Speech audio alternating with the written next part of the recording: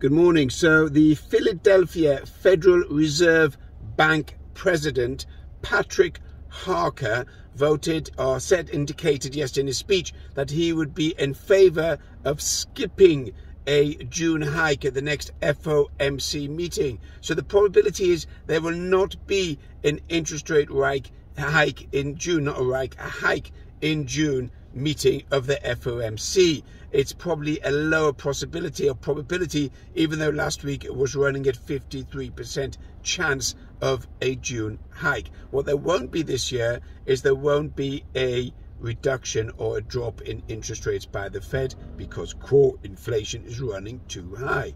Now, some of the viewers are saying that I'm too pessimistic. Um, one of the viewers said I got all my predictions all wrong. Um, another viewer, who's a colleague of mine, says we should buy in. It's a bull market. The market's going to reach all-time high. I'm not pessimistic, and I'm just telling the facts of being objective as it is. Markets are high, and I will tell you what my prediction is. My prediction is that the markets are going to fall and they're going to fall significantly. That does not mean they're going to fall today. It doesn't mean they're going to fall on Monday or Tuesday. I'm not predicting exactly at three o'clock on Monday afternoon markets are going to fall. Now, I don't have that power. I've got as good a guess as yours. I've got some years experience behind me, around about 30 years experience. So I'm using it. I'm basing my prediction on my experience. So I expect the markets to fall significantly. Meanwhile, yesterday, the uh, Congress um, passed more or less the vote on the uh, debt ceiling. So now it's going to go to Senate vote. The debt ceiling is going to be raised, and there's going to be about $4 trillion spent in the next two years to the 2025. The next crisis is going to be in 2025, and there's going to be another $4 trillion of debt added on by then. So by 2026, 27, you're probably going to have the debt ceiling at anywhere around about the 36, 38, about 40 trillion dollars in the US. How are they're going to pay that off? Anyone's guess. They'll probably just print a load of money and just wipe off the debt. Now, if you're looking for a prediction and you want me to commit myself, then I would say that Israel is going to attack Iran. It's already preparing for that. Now, Iran has got enough enriched uranium to make five nuclear bombs, and that will rain terror in the neighborhood. Israel is not going to allow that to happen and they're going to strike at Iran. As a result of that, there's going to be a Middle East war. Hezbollah is going to get involved because Hezbollah is a proxy, is an agent of Iran. And then Hamas is going to get involved because Hamas is also an agent of Iran. And you're going to have all the terrorists in all the neighborhood going up in a globe, in a Middle East war. And that will impact financial markets. That will impact oil will go up so this is my prediction. There will be war in the next few weeks. Oil will go up. Uh, gold obviously will go up as a safe haven. US, um, yeah, US treasuries will be sought after.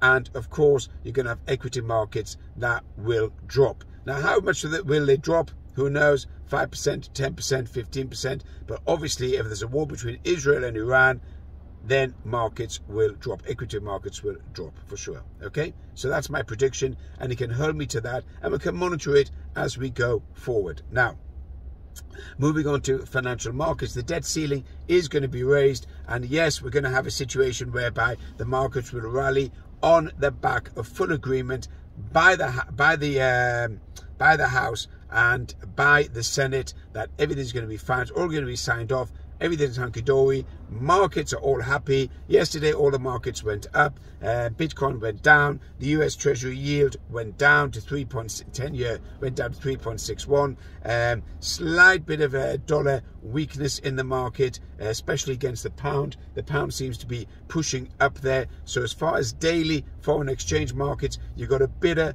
pound cable strength uh, on the back of probably rising interest rates in the UK that's going to happen at the next meeting okay? So everything looks hunky-dory. In fact commodity prices have come down as well. Uh, copper and the main commodities are look like they're trending down and that will have an impact on inflation assuming there's no other geopolitical or cataclysmic events that will happen. Now overall everything looks absolutely fine. But when i look at the market i'm looking at fundamentals. And those fundamentals at the moment don't look particularly good. You've got a rotting commercial housing market in the US.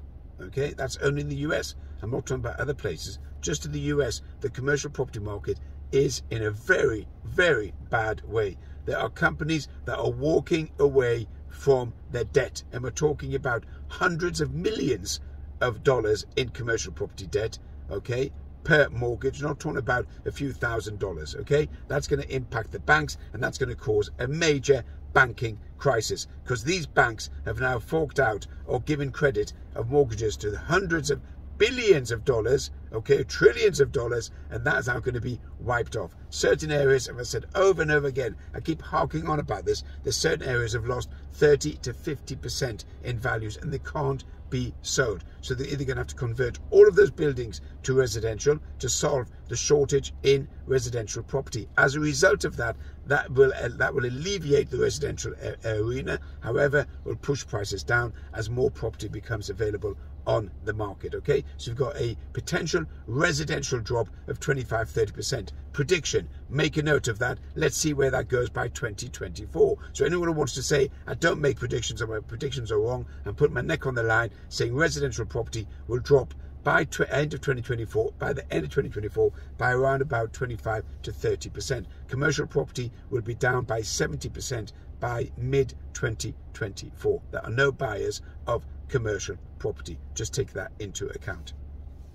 As far as stock markets are concerned, you want a prediction? I think there's going to be a 30% correction. As Phil, my colleague, says, the uh, markets climb a wall of worry. That's right. However, we're peaking out here and the valuations are well above where they should be. And just based on the valuations, we're talking about a major correction. Okay, so uh, that's it for now. I don't want to harbour on all about the markets, keep you bored to tears. You can share, subscribe, you can comment. Um, I'll be doing a uh, Instagram live today at 2.30 UK time. Meir Velenski with Driving Markets. Everything said in this piece is, of course, a opinion only. So don't sue me. Have a good day.